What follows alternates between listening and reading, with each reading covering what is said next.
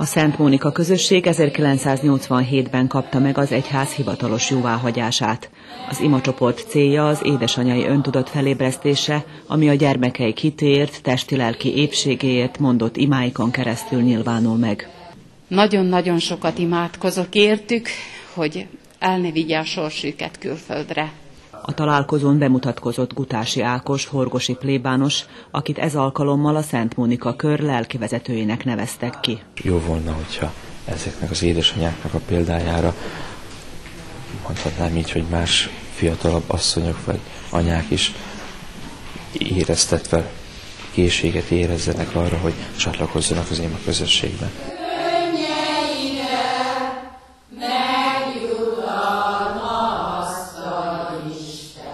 Szeretnénk jótékonysággal is kiegészíteni ezt az adventi szent időt, hiszen itt mindannyiunknak egy picit nyitottabb a szívünk, és nem csak magunkra, a saját gyermekeinkre gondolunk, hanem azokra is, akik nélkülözik az édesanyai szeretetet. A rendezvényen adománygyűjtést is szerveztek a lurkóházakban lakó hátrányos helyzetű gyermekek javára.